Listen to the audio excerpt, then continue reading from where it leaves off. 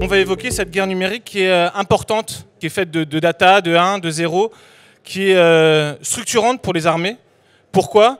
Parce qu'elle permet de prendre euh, la bonne décision au bon moment, celle qui va décider de la vie d'hommes et de femmes sur le terrain en opération. Pourquoi finalement cette numérisation elle est importante, stratégique pour le ministère des Armées? Les militaires doivent analyser des centaines de mails, euh, des flux vidéo provenant de drones, des images satellites euh, qui permettent de mieux comprendre un environnement, un théâtre d'opération. Mais quand arrive une catastrophe, bah, il faut se réorganiser, il faut pouvoir euh, devenir efficace, il faut pouvoir réorienter ces hommes sur le terrain.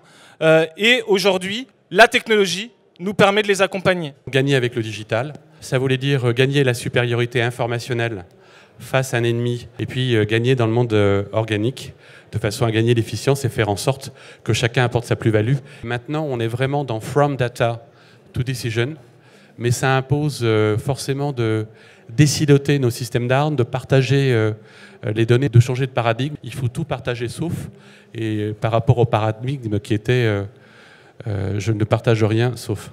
Il y a une vraie innovation qui doit se mettre en place. Soprasteria a pensé une manufacture des usages pour effectivement faire descendre cette innovation et la rendre tangible pour l'opérateur. Cette manufacture des usages, c'est celle de mettre en place un, radar, une veille systématique de l'innovation. Une fois qu'on a détecté cette pépite, il faut confronter à la réalité euh, opérationnelle. Et donc, on a créé un bac à sable qui permet de, de confronter finalement l'innovation. Et enfin, une équipe pluridisciplinaire avec des ergonomes, des ingénieurs, des architectes et des opérationnels pour éprouver tester euh, du coup cette euh, euh, innovation et dans une logique d'agilité, de DevOps.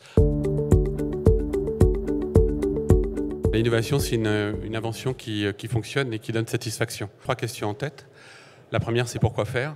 La deuxième, comment je l'utilise Et la troisième question, c'est combien ça coûte Si vous avez un drone qui vous informe de la détection d'une menace, il vous faut l'intégrer rapidement et que votre système d'intelligence artificielle vous propose une, autre route dans laquelle, euh, notamment, votre système d'armes et la vie de l'équipage sera, sera moins exposé. Il faut aussi se mettre en situation euh, d'innovation un peu disruptive. On a posé deux questions qui étaient essentielles. Quelle est la maturité digitale de chacun? Et puis la deuxième question qu'on avait posée, c'est euh, qui était un peu disruptive, c'est à quoi rêvez-vous pour faire cauchemarder votre ennemi? J'ai adoré la réponse euh, d'un représentant des forces spéciales en disant moi ce dont j'ai besoin en permanence, c'est d'avoir 0,5 secondes d'avance par rapport aux terroristes qui détiennent les otages faire en sorte que les colonels, que les capitaines, les adjudants qui ont des idées puissent euh, faire grandir et, maturer leur innovation. Agréger des technologies et faire en sorte euh, bah, qu'elles deviennent efficaces pour collecter de façon massive l'information avec toujours cette idée de pouvoir produire de l'aide euh, à la décision, avoir une vraie gouvernance de la donnée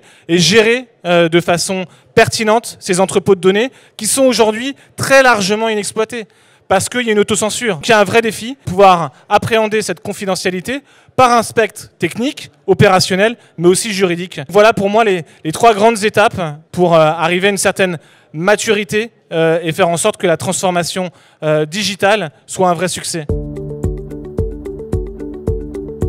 C'est à nous de, créer les conditions dans un écosystème dans lequel les industriels, les PME, les startups ont, ont toute leur place. Et cette ambition ministérielle a été orchestrée par la direction générale euh, numérique, de donner la vision, euh, nous offrir les conditions d'une plateforme pour faire la désintermédiation, l'ubérisation, de définir effectivement une, gouvernance de la donnée. On a créé aussi l'agence de l'innovation et l'innovation Défense Lab qui, qui, a deux fonctions principales. Capter le foisonnement des idées, euh, puisque, parce que le talent est collectif. Réconcilier le temps, long avec le temps court et comment, entre guillemets, être plus réactif.